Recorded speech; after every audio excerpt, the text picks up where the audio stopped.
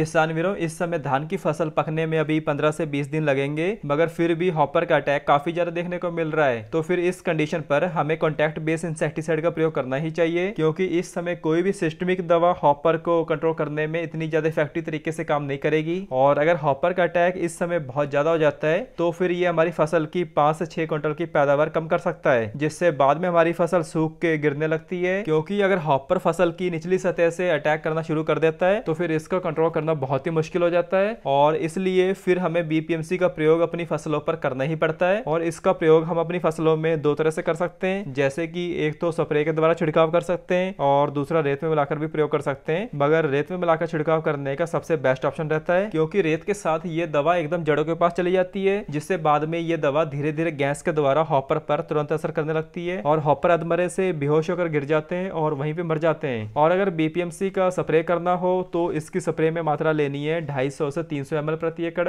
और अगर रेत में मिलाकर डालना है तो दस से बारह के रेत लेनी है तो उसमें इसकी मात्रा रहेगी पाँच सौ प्रति एकड़। और ये BPMC contact plus vapour based दवा है मतलब हॉपर इसके संपर्क में आते ही तुरंत खत्म हो जाते हैं। और इसमें जो टेक्निकल आता है, वो है फिनोबो कार्ब बीपीएमसी पचास परसेंट ईसी फॉर्मुलेशन और किसान वीरों, इसका सबसे बढ़िया रिज़ल्ट तब मिलता है, जब धान के एक पौधे में दस से पंद्रह भूरे कूदने वाले माहू दिखाई दे तो इसका रिज़ल्ट बहुत ही बढ़िया देखने को मिलता है। और इसका रिज़ल्ट आठ से दस दिन तक खेत में बना रहता है। और इसके अलावा इस बीपीएमसी का प्रयोग दूसरी सिस्टमिक दवाओं के साथ मिलाकर भी कर सकते हैं। कोई दिक्कत नहीं है। तो किसान वीरों, ये एक छोटा सा वीडियो है कि इस समय भी अगर बीपीएमसी का प्रयोग नहीं करा तो हॉपर हमारी फ़सल का बहुत ज़्यादा नुकसान कर सकता है। बाकी बीपीएमसी का डिटेल वीडियो भी बनाया है। आप यहाँ पे स्क्रीन पर देख सकते हो। धन्यवाद।